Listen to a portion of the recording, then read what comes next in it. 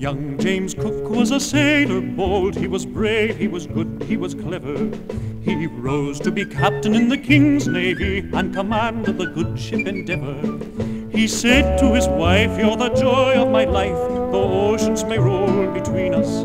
But I must be off to the Isles of the South to observe the transit of Venus.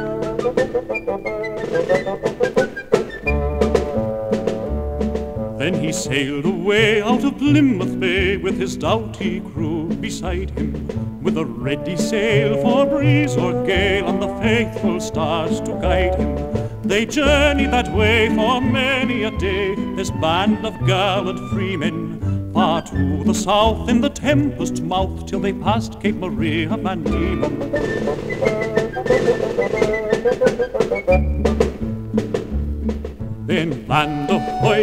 Cabin boy, and eager they were to see land. Then going ashore, raised the flag they bore on the bush-clad hills of New Zealand.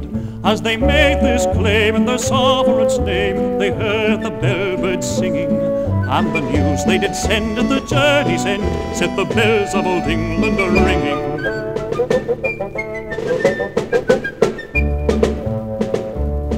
James Cook was a man who was kind and just, though his enemies learned to fear him. The Maori chiefs took his word on trust, and his men grew to love and revere him. My tale is now told of the sailor so bold, who was brave, who was good, who was clever, who rose to be captain in the King's Navy and commanded the good ship Endeavour.